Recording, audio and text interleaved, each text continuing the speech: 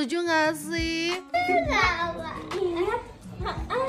Tendang terus, tendang terus. Enaknya di sini, Mami tuh bisa ngelihat pergerakan badan Lonel dari atas sampai bawah, sampai kaki-kakinya nih. Seru banget sih ini buat stimulasi baby kita. Dan Lonel di usia 4 bulan, pertama kalinya nih berenang. Ingat, usia Lonel 4 bulan ya, bukan satu tahun. Berdaki sekali Lona baru usia 4 bulan, baru 4 bulan ya belum setahun. Lona aku baru pertama kali itu berentang, benar-benar pertama oh, dia kali. Nyampe.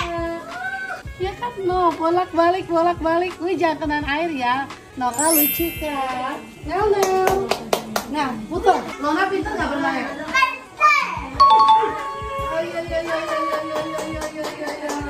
Ini pertama kalinya Lona berenang di usia 4 bulan. Sebelumnya nggak pernah.